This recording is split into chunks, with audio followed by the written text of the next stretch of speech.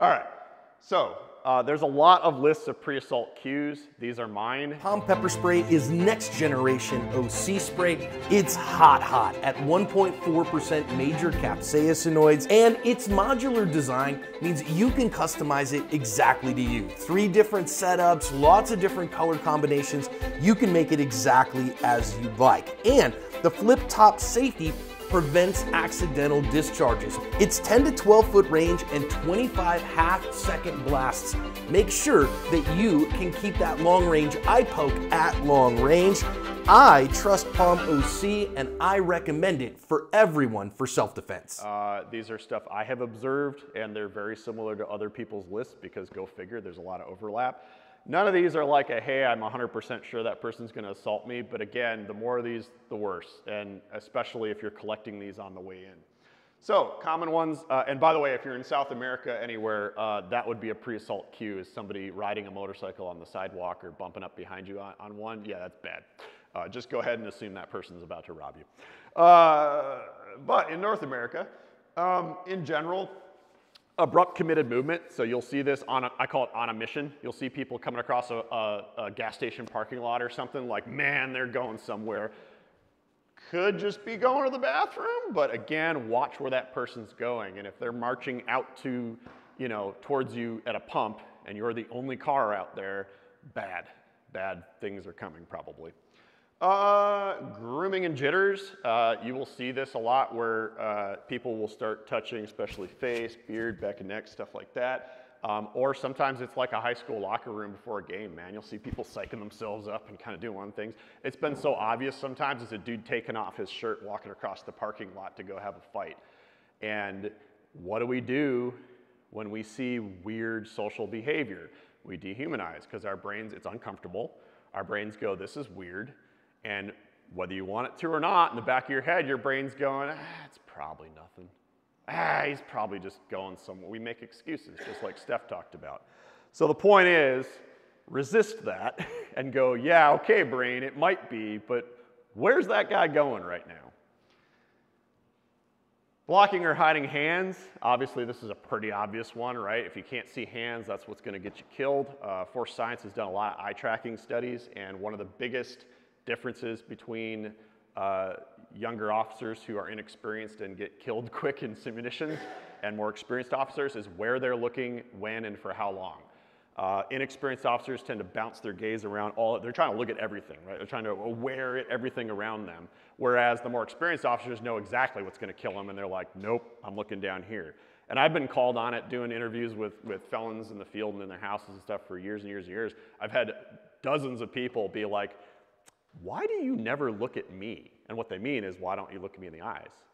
And I make an excuse, you know, ah, it's just a thing I do. Sorry, man, it's just a weird thing. The actual answer is because your eyes aren't going to kill me, right? I'm worried about where your hands are. That's what's going to kill me. Um, staring or dehumanizing gaze. Uh, sometimes you'll get the look up and down like you're a piece of meat, right? Um, that's never good, male or female. Um, the dehumanizing gaze can also, or the, the, the, staring can also be if you ask someone a question or something, like they're coming up, hey, you got a cigarette? And you're like, nah, man, I don't want to, or whatever. Or you're like, hey, man, um, you know, can, can you back up for me? And they just go like, back up? Yeah. That's a bad sign. Like if they're looking off into the distance and kind of whatever, whatever they were thinking about is not what you just talked to them about, and bad things are about to happen. Uh, so watch out for that.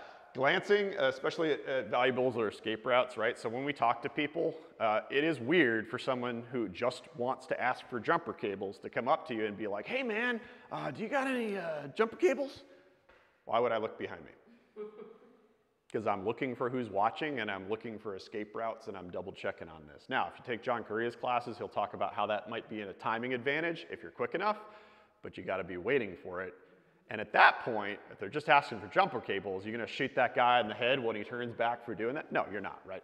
So there's some limitations on that, but it is definitely a weird, weird thing to see. Um, or glancing at your valuables, right? Somebody comes up and they glance at a, at a bracelet or something like that, or a watch they want real quick. Again, those little micro expressions are telling you something. Pay attention. Now, I know that's kind of a lot, um, oh, and sorry, bladed or awkward stance as well. So normally when we talk to people, if I'm gonna come up to somebody who I don't want to scare in the parking lot uh, and ask for jumper cables, right? I'm gonna get down on their level. I'm gonna get like that. I'm gonna be like, hey, I am so sorry to ask, you know, ask you this. I know it's weird. Do you have jumper cables, right? Is this a good way to start a fight? No, this is a terrible way to start a fight, right? So if I'm gonna start a fight, and that's what I'm thinking about, I will probably tend to, de- and if I'm really good, I'll pair it with the glance, right? So I'll come in and I'll be like, hey, uh, you know, ah, my car won't start. Um, I, do you ha-" and what have I just done? I've paired it with a story, a little bit of an interview. I turned and looked to make sure nobody was watching, and I just left my foot behind in a stance where I can start to throw a punch. And a lot of times it'll come right after the look away, right? It'll be, ah, it's casual, uh, sucker punch kind of thing. So what I recommend people do is get in the habit of, uh, this one really screws with you, uh, is if people start looking away from you in context like that, just take a big step. so when they turn back, you're not exactly where they were. Because again, it's funny. You'll see them kind of casually look back and they're like, oh. And that might deselect you right there. Because honestly, that jolt out of like, oh crap, this person did something weird that I wasn't expecting. Um, they still have an opportunity to deselect, right? Uh, and they can pass it off. Oh, oh, sorry, man, didn't mean to bother you. And I've actually had this happen at gas stations where I had a dude walking towards me at like 5 a.m., middle of nowhere. I'm the only car out there, and he's marching towards me, and he literally maneuvers so he hides himself behind the pillar that was there. And I'm sitting there pumping gas, and I'm like, could be nothing, but yeah. And so I just moved and kind of went around the other side of my car and stood there and waited because my gas can fill itself. And I kid you not, the dude popped out right next to where I had been standing from behind the pillar, and this was the conversation. He goes, huh, "Oh, oh, sorry, man." and I'm like, "Have a good day," you know, like. But what can I do, right? I don't have proof of anything. But I was like, "Whoa, that was weird." Um, yeah. Uh, waistband picking and reaching, that's real obvious. You guys have seen that in videos, stuff like that, but bad guys do that all the time. Touch things they're not thinking about, things like that, or they are thinking about. All right, so all of those are bad. The more you see, the worse.